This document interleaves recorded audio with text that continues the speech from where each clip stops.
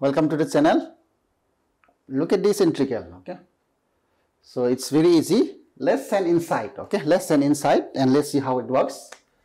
If I send inside, then integral here x into x raised to e into e raised to x plus e into x raised to e into e raised to x plus x raised to e into e raised to x dx okay?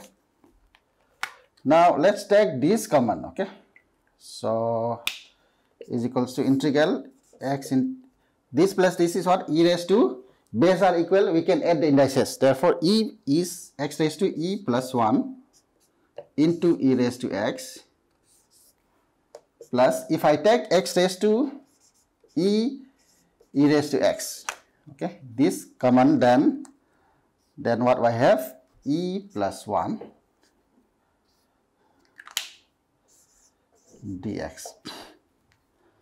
Look at this okay? This is what? What? This is what? Differentiation of this okay? Look at dy. What is dy?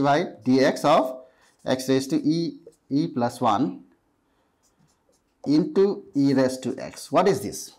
Now apply product rule u into v, keep x raised to e plus 1, keep as it is, differentiation of e raised to x is what? e raised to x. Okay. Now keep as it is, e raised to x, differentiation of e plus 1 is x raised to e plus 1 is what? e plus 1 into x raised to e plus 1 minus 1. Plus 1 minus 1 is what? x raised to e. Okay. Therefore, dif differentiation of this is same as this. Therefore, integration and differentiation gets cancelled.